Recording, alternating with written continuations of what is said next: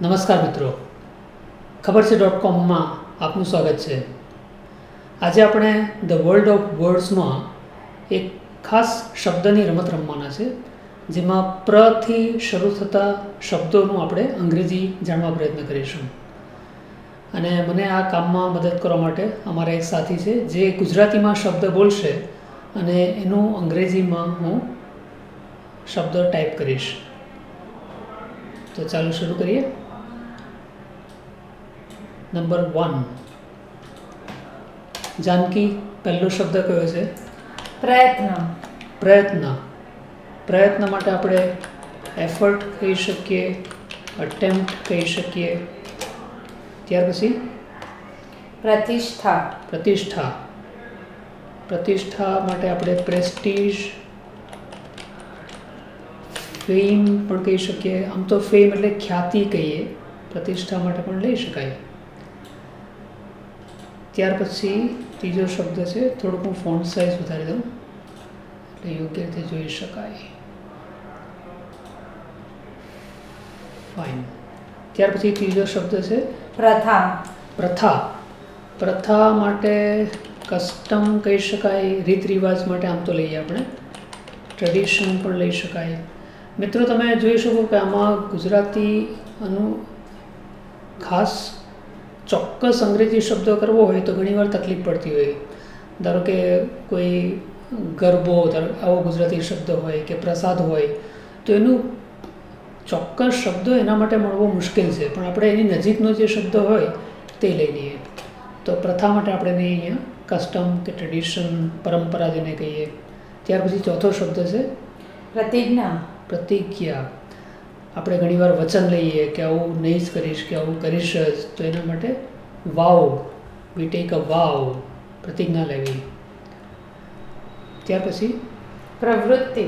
પ્રવૃત્તિ એક્ટિવિટી સ્કૂલમાં જે એક્ટિવિટીઝ કરાવતા હોય ત્યાર પછી પ્રતિશોધ.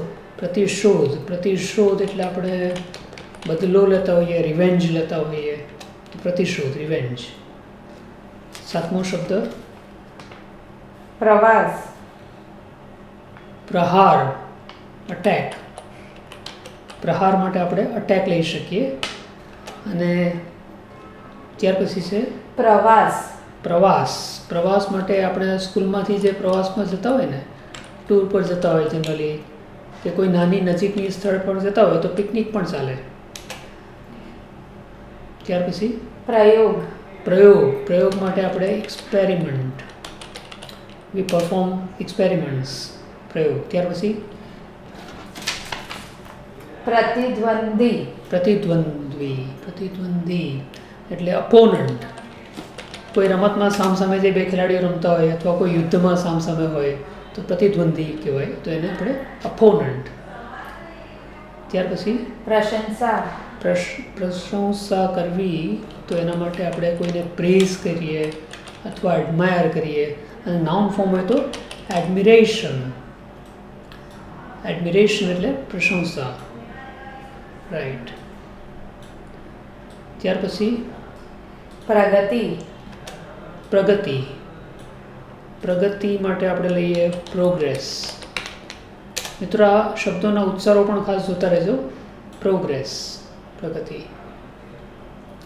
એન્ડ ટુ મેક somebody મેં ask કહ્યું તમે આ કામમાં પ્રગતિ કરી રહ્યા છો તમારું અંગ્રેજી સુધરી રહ્યું છે તો આર યુ મેકિંગ પ્રોગ્રેસ તો પ્રોગ્રેસ સાથે આપણે મેક શબ્દ લઈશું ત્યાર પછી પ્રમાણ. પ્રમાણ. પ્રમાણ માટે પ્રપોર્શન. ગુજરાતીમાં એક બહુ સરસ શબ્દ છે આ પ્રમાણ પરથી મને યાદ આવ્યો પ્રમાણભાર.